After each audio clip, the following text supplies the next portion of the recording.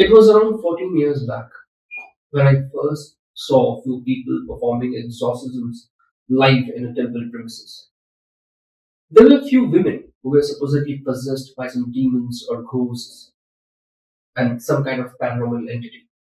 And then there were a few exorcists who claimed to have supernatural powers which can help them to get rid out of these paranormal entities. This was my first brutal and legitimate encounter with the paranormal practices and rituals. In this hour long episode, I witnessed how these exorcists were brutally hitting women and casting the evil spirits out of them. Being a teenager, the sight was horrifying for me. And somehow it left its imprints in my head. I didn't sleep that night. The flashes of the scene kept me awake. I was not thinking about ghosts, or exorcisms, or possessions, or demons, or witches, or exorcists, or anything paranormal. I was thinking about those women and the pain they must have gone through. During the entire brutal beatings by the exorcist or during the so-called procedure. I was thinking about the mental trauma they were witnessing during the episode. I was thinking about the human side of a haunting. Whenever someone comes to you and shares a haunting they must have gone through, don't we fall more on the side of paranormal? Don't we tend to forget the human side of a haunting? Well, we don't. Ladies and gentlemen, my name is Jay Alani. I am a paranormal investigator. Or maybe a mythbuster. Or a keen mind. Or a ghost hunter. Or a ghost buster. Or maybe, just maybe, another unemployed Indian youth who's a wannabe cool, according to few intellects, who are intellects in their own heads, who are intellects in their own world. And you can find their unrelatable intellectuality mostly on social media comments. That's a rare species though. When I started my journey as a paranormal investigator, or when I thought to do something like this, I was lacking a goal. I was lacking an ideology. I didn't have the answer of an important question that why I want to do this. Back then, I only had a curiosity in my mind. A curiosity of whether these things exist or they don't. Whether the episode of exorcism I saw was true or not. When I started, I was heavily influenced by the conventional ways of paranormal investigations. To be very honest, I was heavily influenced by these so-called amazing American ghost hunting television shows. The shows use a lot of scientific gadgets and tools to prove the existence of paranormal energies. They enter in a haunted location, holding some sci-fi tools in hand, with a macho and a daring image. Like how Batman roams around the Gotham City during the nights. And of course, girls go crazy after them. I was young, and all these things fascinated me too. That Superman like image, those high tech and eye catching devices, and of course, girls.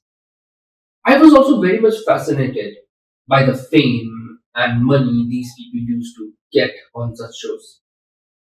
And I was like, this is it. You know, this is it. This is what I want to do with my life. I was like any other youth in this world who wanted to make big. But paranormal investigations has never been a career option in India. So I enrolled myself in engineering, the only success mantras of Indian youth. But I miserably failed.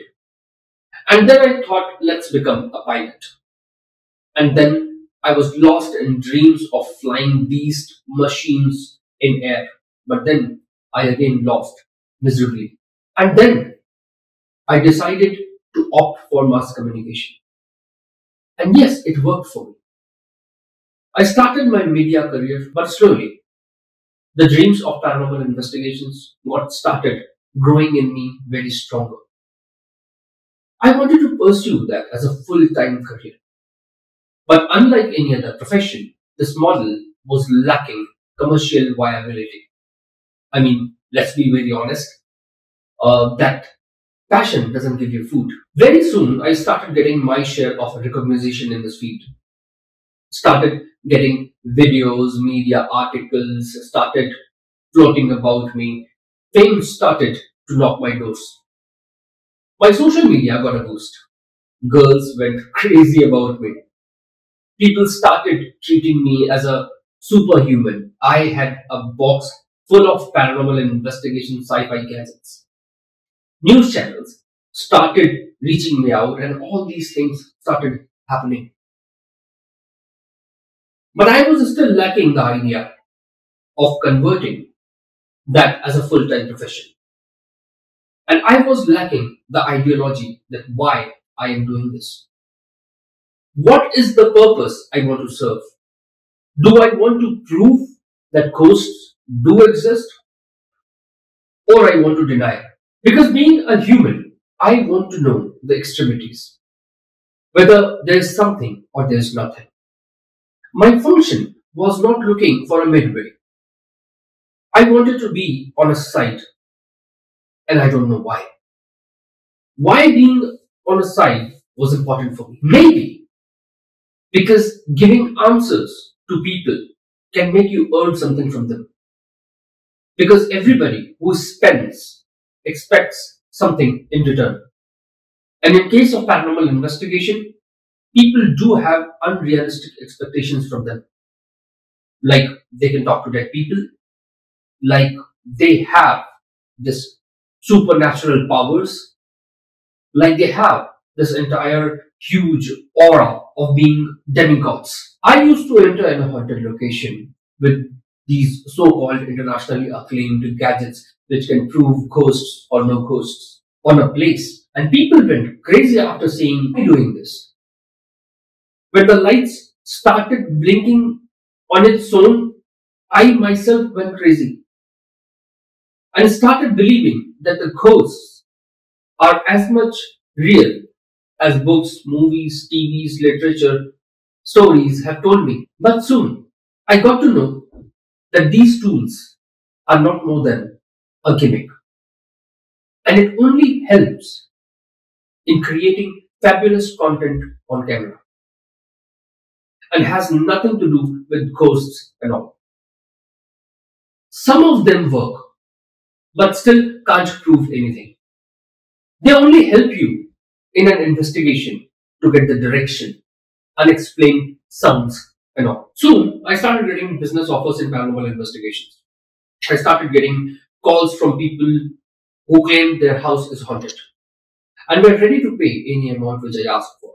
I started getting calls from the builders who were trying to get rid from the coasts from their under construction uh, projects and they were facing losses because of it. Then from people who were looking for magic in their lives, unemployed people, uh, possessed people, people who wanted to talk to their own who departed, people who were heartbroken and wanted to mesmerize a girl whom they loved. People who wanted a shortcut of success. People who were going through hard times in their lives and people who were not ready to consider mental health as a serious threat. And here it was. The commercial model of paranormal investigations was waiting for me.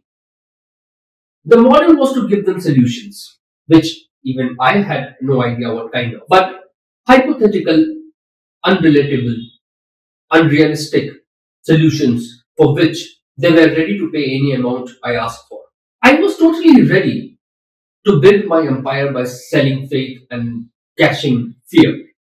and to earn huge money, respect, name, fame, TV series, you know, books, media attractions, millions of followers, and everything which any human ever wishes for. But still, I was lacking an ideology.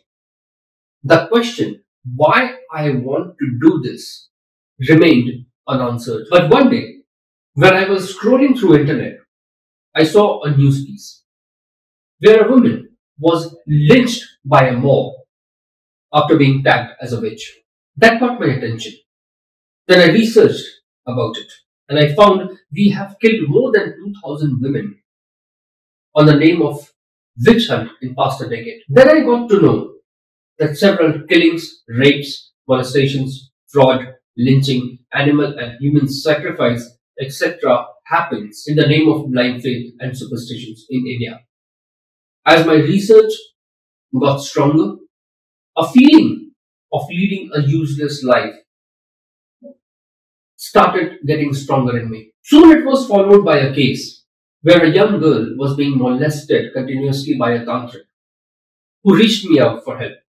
Then one more case which came to me by an elderly man who lost his son in an accident and wanted to talk to him for once and was ready to pay any amount for the person who makes it possible for him.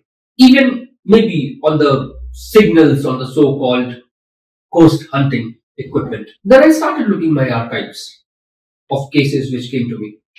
And I found 90% of the cases were coming from blind faith and superstitions. And here it was. Yes, the missing ideology was standing right in front of me. I wanted to eradicate blind faith and superstitions. I wanted to spread paranormal awareness and I wanted to bring paranormal reality to people. But for that, I had to lose all that billionaire dreams, fame, name, and everything which could have come to me. But I don't know why. I didn't take even a single second to lose every such thing. Because I've got my chase in life. Because I discovered my goal of life. I didn't want to be on a side whether there is ghost or no ghost. I in fact left that way somewhere because my path was now bang on the atrocities which were happening all around us in the name of ghosts and paranormal and blind faith. I left the extremity and I chose to be the midway. I chose to be open minded and I chose to be what I am actually is. Now I started looking things very differently. And the more I got to know about the realities, the more I became confident of the fact that even there are any ghosts, they are not coming to kill me. Even they are around us, they are not entering in a human body. No, I won't say that ghosts don't exist. They might. But until we have a substantial proof, let's stick to the reality.